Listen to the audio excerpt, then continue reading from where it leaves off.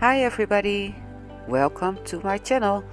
Saskia Smit here. Um, today I'm going to take you on my journey. Uh, I started uh, with a totally different painting and I ended up very different. And in this video we are also going to talk about why that keeps happening to me. Because I think I know what it is. Um, I'm starting to paint my canvas uh, with Lukas Beige, so that's an off-white. And now uh, I'm testing uh, Vivid Intense uh, blues and uh, Prizm Pour blues um, because I wanted to see what is matching and I'm going to put Vivid Intense Blue Opal on top of the other blues so I can see uh, what that does because I want to know what it all looks like before I start with my painting. I just love blue, so that was uh, my start. Here I'm taking a little bit of the blue opal Vivid Intense. It's an iridescent color or interference color as you can see it uh, gives a little bit of that extra shimmer on top uh, especially on dark colors. And now I'm going to start uh, with indigo blue black from Vivid Intense from ColourArte. I'm putting it in a cup and I'm uh, mixing it with some water because I want to paint my tissue paper or in the Netherlands we call it silk paper and I'm going to uh, paint them and dry them.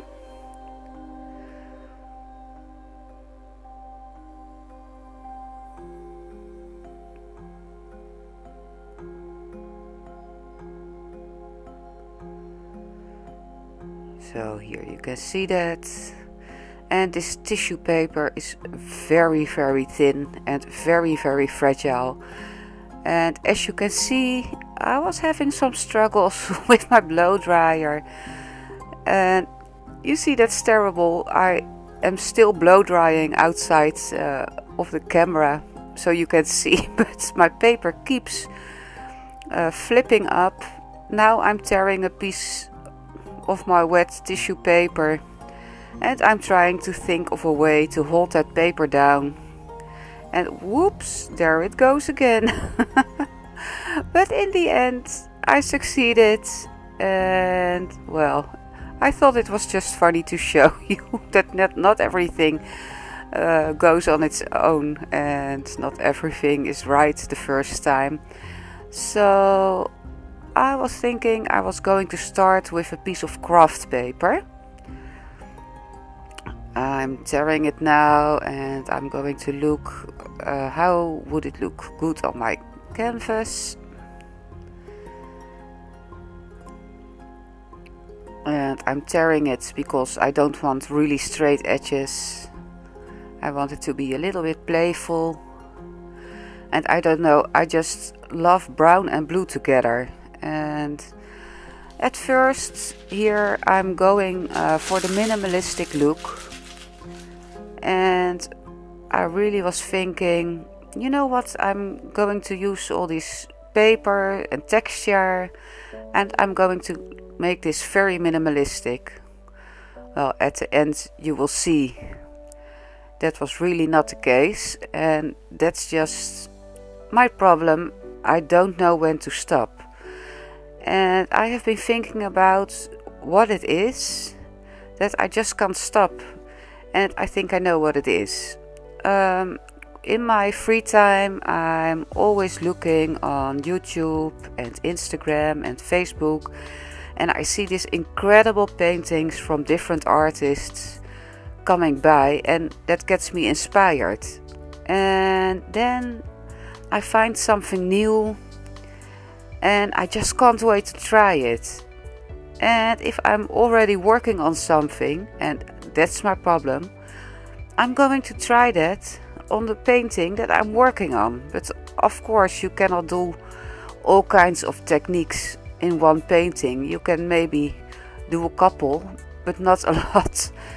And I think that's my problem. And then at some point I overworked it and I'm not feeling happy about it and then I'm going to do more and more you know to compensate or try to rescue my painting. And it keeps getting worse and worse worse. But at the end I was happy with the result but it was totally not what I was going for. But that's okay. Because the whole time I was doing this I did have a lot of fun. And that's what it's all about so here I'm putting uh, down a little bit of uh, gold leaf because I was planning to have that little gold square there just like in my former painting. And I thought oh that's nice. That could be uh, some kind of signature for my paper paintings you know?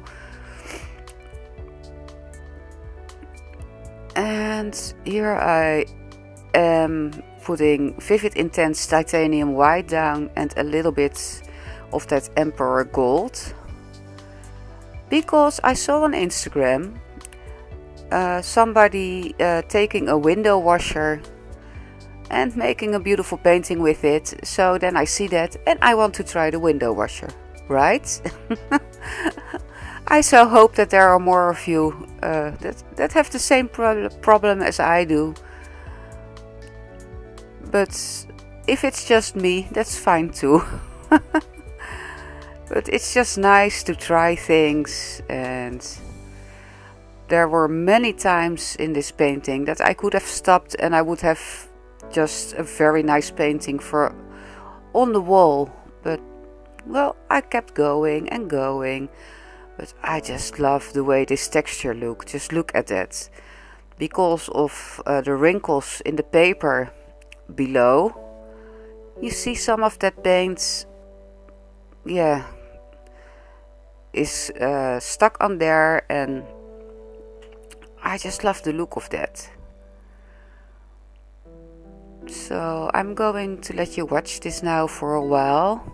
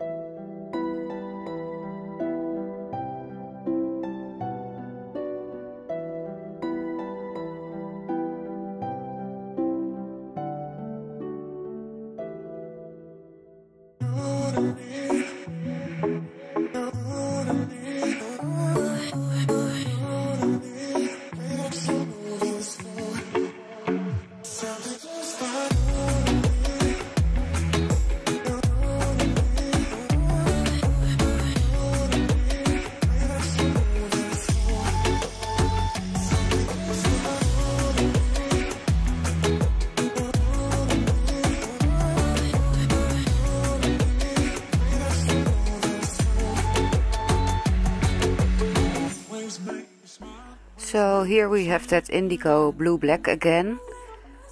And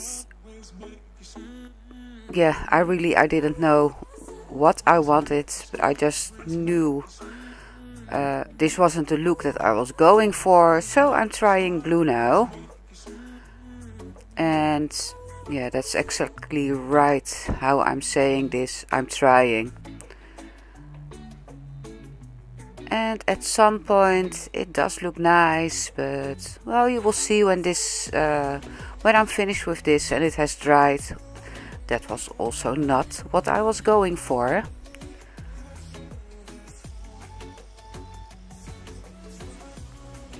and now I'm picking up my canvas because uh, all this time it was flat on my table and it helps to look at it vertically so yeah then you see it from another from another point of view and that's important well I didn't like the way this looked so I thought you know what I'm going to go back to my original id and I'm putting my blue silk papers on top of all that.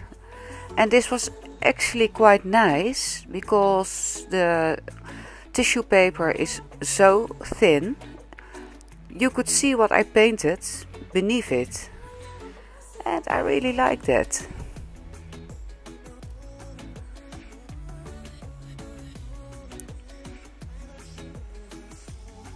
You see? and that's what I just love about working with uh, this tissue paper because it's so transparent and I just love those layers and what you can do with transparency but of course in the end I wasn't happy with this step but you will see that. But uh, if you are going to try to do this please do because it's really it's so much fun.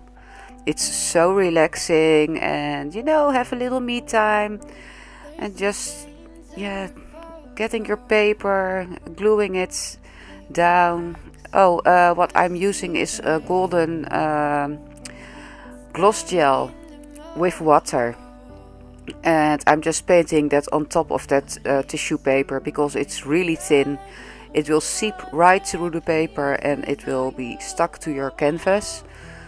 And it also gives uh, a very nice uh, yeah glossy finish. But also as you can see my painting is getting busier and busier and I was going for that minimalistic look and if I have something in my head I don't know then that's what I want. But I keep getting myself in trouble because I just can't stop. And now my painting is already looking pretty busy, don't you think? Okay, I'm uh, letting you watch this and I'll be back in a minute.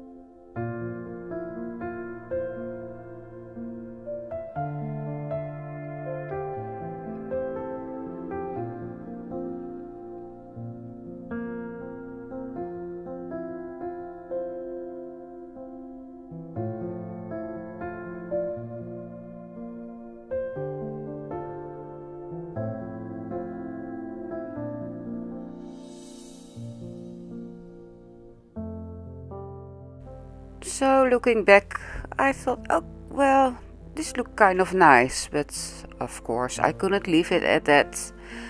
And I'm putting the Vivid Intense uh, titanium white on there again. And I start, yeah, painting with my palette knife and just have a little fun.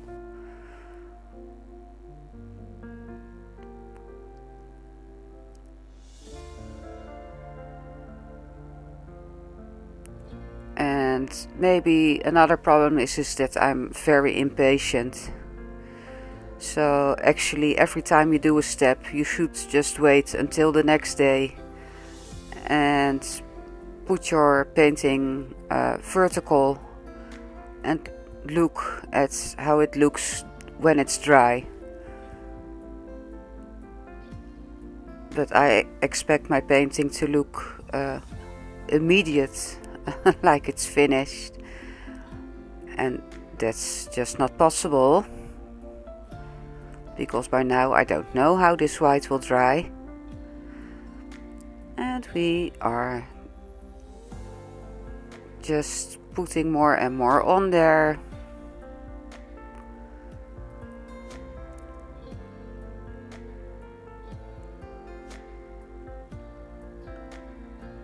So, do you have similar stories like me? If you have, uh, please let me know in the comments because I would love uh, to hear if you do have the same problems as I do with knowing when to stop or just uh, take your paintings too far and it's all okay you know because uh, yeah I worked on this um, maybe a small week, but in a couple of weeks because I did take some breaks in between. And all that time I did have fun and I was really uh, in my painting zone, you know, in my happy zone. and it's all good. And uh, you know, not every painting uh, has to be a masterpiece. It's also about relaxing and uh, distressing. Okay, well, here I found this really, really, really cool new medium. I'm not going to tell you what this is, but if you look at this the coming minutes and you think it's interesting, let me know. So, if uh, if you do, I will make a video about this medium and uh, explain what it is. Uh, I really had a lot of fun with it and I love it, but I shouldn't have put it on this painting. I should have made a painting on its own, but you know, it's me, so I'm doing it on uh, the piece that I'm working on. and my painting just keeps getting busier and busier, but uh, I think this new medium that I found is really, really cool.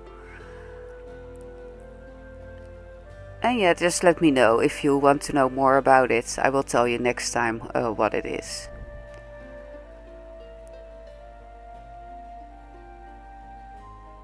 So I'm letting you watch now and I'll be back in a couple of minutes.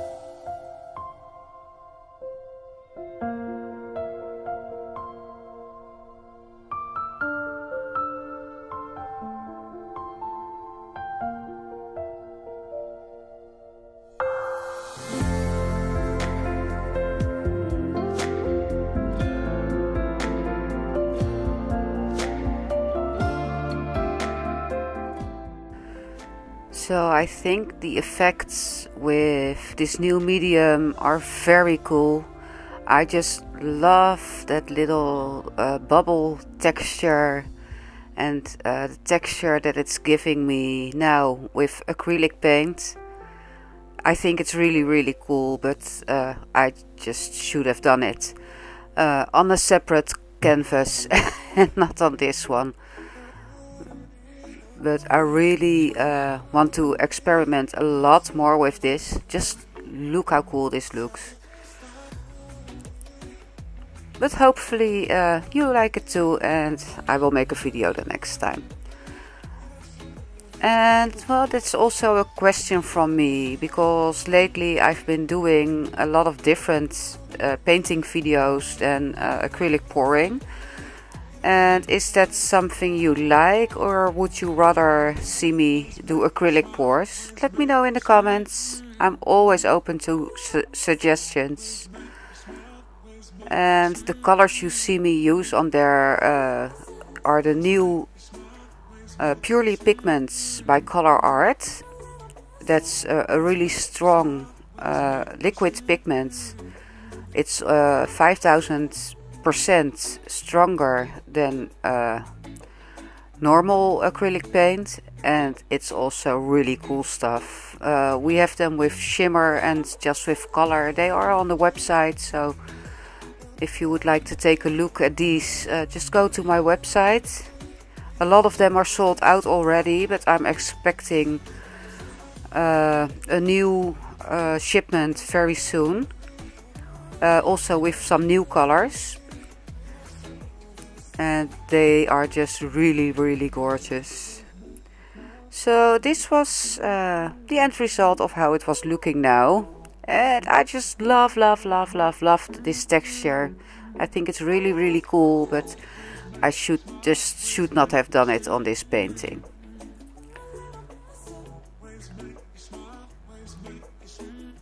I just love that color also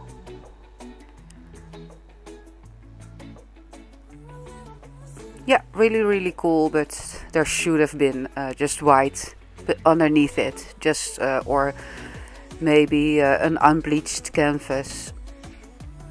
But just look how cool this looks. Maybe it's just me, but I think it's gorgeous. Especially in combination with those purely pigments. Excuse me. So, it's a couple of days later, and of course, I think, wow, this painting is really, really busy. And you know, I wanted something minimalistic. So I thought, okay, I'm going to get uh, some white acrylic paint and I'm going to try to fix this. And at this point, I just think, well, I just ruined my painting. There's nothing more I can do. So I'm going to put some gold leaf on top of here in the center and I'm going to work from there. Just uh, pushing it down.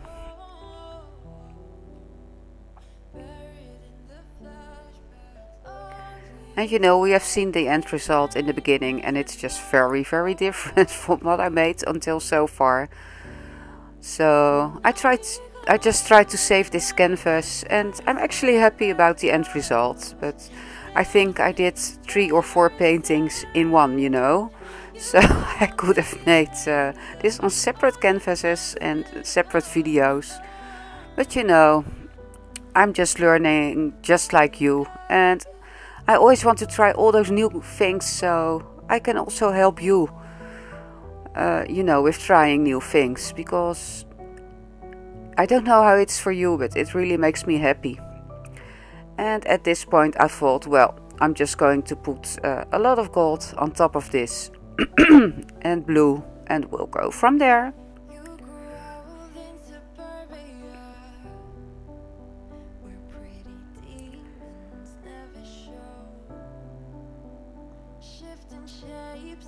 And I think this is also a gorgeous blue. It's a Prizm Pour by ColourArte's. And then I thought, well, this is a lot of blue and gold. I think I'm going to need some white with this. And here I'm just playing with my charcoal stick and drawing some squares, but because, uh, yeah, everything I was doing up till now were squares, so it is of course a little uh, abstract. and I think the charcoal makes it look a little bit more organic and I like that. I love, love, love bright colors, but I'm also about uh, the organic colors and the minimalistic uh, paintings, especially when I uh, hang them in my own living room. Uh, I like to be my surroundings uh, to be, yeah, a, a piece of uh, how do you say that? Um, when I sit down in my living room, I want it to be peaceful and it should make me uh, not stressed, but how do you say it? It, it should be a peaceful surroundings. I'm so sorry. Uh, for you who are new here, English is not my first language, so that's why you hear me struggle sometimes uh, with finding the right words. I'm actually from the Netherlands. Um, I do have uh, an online uh, art supply uh, store and I do ship worldwide. So if you would be interested in uh, all those beautiful paints or pigments or tools for acrylic pouring or whatever, take a look at my website and we will be happy to help you with that. And as you can see, that new medium that I tried was not fully dried yet. Um, I was testing it and it really takes well almost four to five days before it's fully dried. But that was okay because I got uh, some quite nice colors uh, about uh, from it, as you can see.